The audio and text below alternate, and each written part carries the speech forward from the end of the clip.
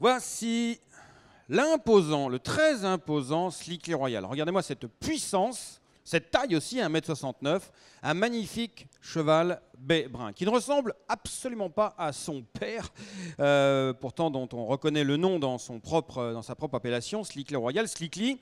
Alors Slickly a été un excellent cheval de course, d'abord chez Fabre pour Lagardère et puis après chez Godolphin, multiple vainqueur de groupe 1, et il a été le premier étalon, fils de l'Inamix, à s'installer en France. À l'époque, euh, les, les bien-pensants disaient que l'Inamix ne serait pas un bon étalon, ne serait surtout pas un bon père de père et pas un père de chevaux d'obstacles. On s'est rendu compte que tout cela était totalement faux parce que l'Inamix c'est un cheval extrêmement marquant dans toutes les disciplines et qui trace tant en tant que père de mère et en tant que père de père. Voici donc l'un de ses produits, Slickly Royal, qui fut un très bon cheval de course, habilement mené par, dont la carrière a été très habilement menée par euh, Philippe de Marcastel, c'est-à-dire que lui, Philippe de Marcastel, ce qu'il voulait, c'était remporter de l'argent plus que de la gloire. C'est pour ça que Slickly Royal a remporté 4 quintés, bien qu'il eût le niveau Black Type. Euh, en l'occurrence, euh, Royal a été plusieurs reprises placé de groupe sur 1600 mètres, mais seulement en fin de carrière.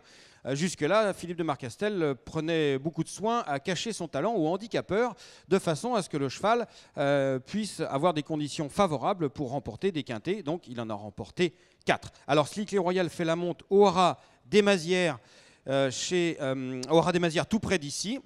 Il appartient à Erwan Le Pivert et il fait la monte à 1200 euros poulain vivant avec une production peu nombreuse, mais qui a quand même donné quelques vainqueurs.